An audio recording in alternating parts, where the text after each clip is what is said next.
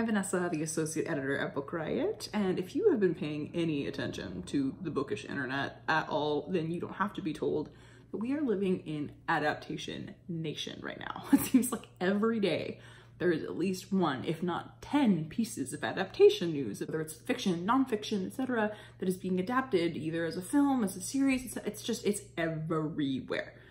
People have their feelings about that, which is something I'm very aware of given the fact that I moderate social media for Book Riot, and so I'm seeing people's reactions to this sort of stuff all the time.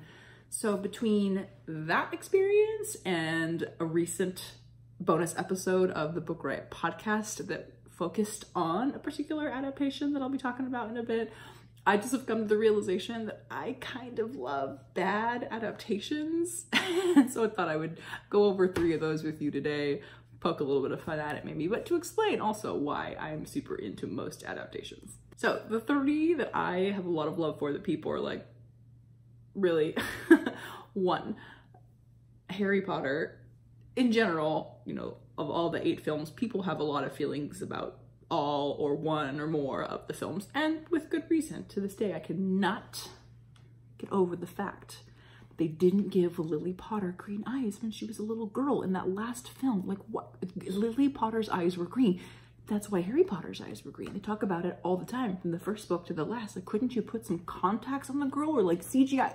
Overall though, I do just really enjoy them. They're a fun thing that I like spending time with. But the film that a lot of people have feelings about that I kind of dig is the third one, based on the third book, of course.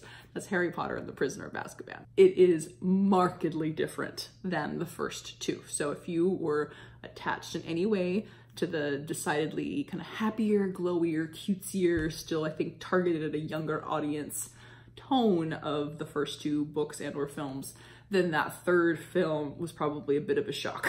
but as I learned on the Warner Brothers studio tour when I lived in England for a while and did all things geekishly Potter, the thing, that the shift, the difference in theme that you notice is very, very deliberate. They brought in a director whose job it was to take the books or the, the film and just completely shift the tone to accommodate the like darker plot points that were slowly but surely making their way in. You know, yeah, the right around the third book, stuff starts to get a little more real.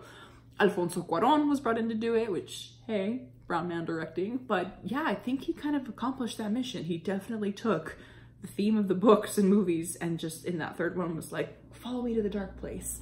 Everything about the film, from the way it's shot, the, the music, the background, the like kind of color wash. It's a little bit kind of gloomy, murky the entire time. Everything about it is different, but again, it's deliberate. So I think it did what it set out to do. And overall, yeah, it's funky, it's different, but I kind of dig it.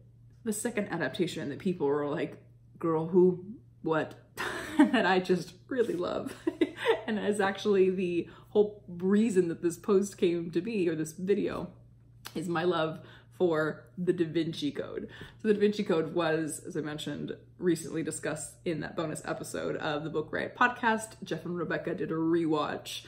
I knew that they were doing this and I saw Rebecca rewatching it as she posted on like her Instagram story. So I actually went and rewatched it the same day.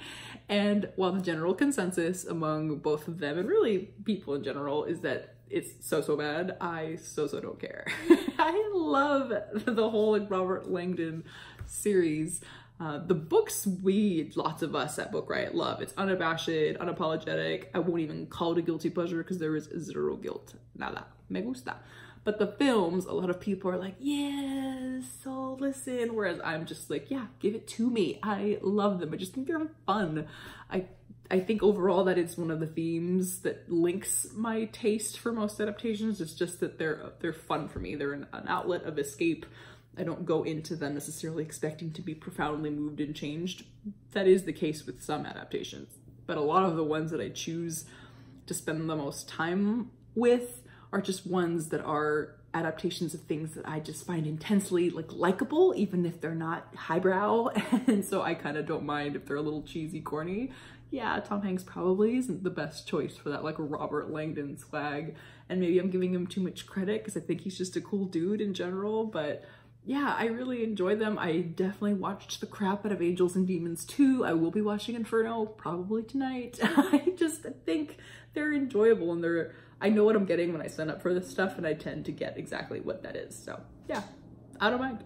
And the third adaptation that I really like that most people were like sending me text messages and calling me to check up on me because it is based on a author that I love, one who occupies like two and a half shelves on my bookcase. And that is Agatha Christie, specifically the most recent adaptation of Murder on the Orient Express, the one that starred everybody, really. Kenneth Branagh as Detective Poirot, Michelle Pfeiffer's in it, Penelope Cruz, Johnny Depp, whatever.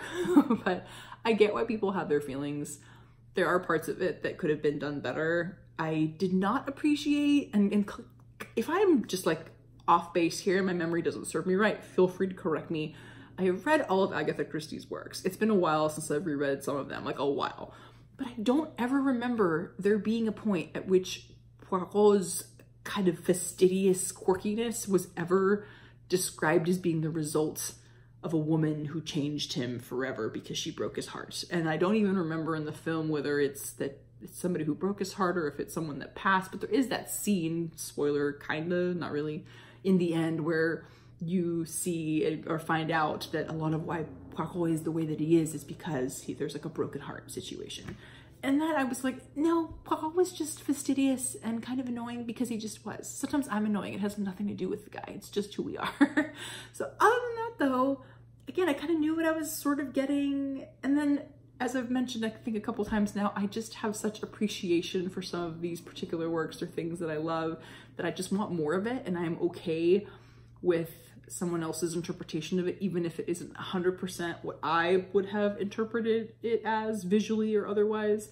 I have a lot of respect for people in the visual arts because I don't know how you take a work that is either, you know, again, like a lofty piece of literary fiction or a piece of sci-fi or fantasy or magical realism where the visual details that are described are, I think, going to be challenging to actually put into a visual medium or if it's just like a Harry Potter or another series that is so beloved that the bar is already impossibly high. I think it takes a lot of mm, to look at that and go, yeah, I'm gonna put that on, you know, the big or small screen and I'm gonna rock it. Like I could never. So go you. And I I think maybe that's why I give a lot of this stuff some extra room. I do draw the line at stuff that is either offensive, harmful in any way. And there are some adaptations that truly are just that bad there are a few, I didn't want to be a mean girl, so I'm not going to talk about those today. But I say 95% of the time, I am going to be interested and probably appreciative of an adaptation. Just because, again, I, I want to spend more time in the things that I love. And if that means seeing it in film, even if it doesn't 100% hit the mark, I'm okay with that. So yeah, that's just my little corner of the adaptation world. Please tell me if you have adaptations that you love in spite of the fact that everybody else is like, whoa. so again, at the end of the day, I'm always going to be a proponent of just loving the things that you love as long as they're not harming anybody in any way. But I want to know what yours are because now I'm just really curious. Thanks for watching. See you next week.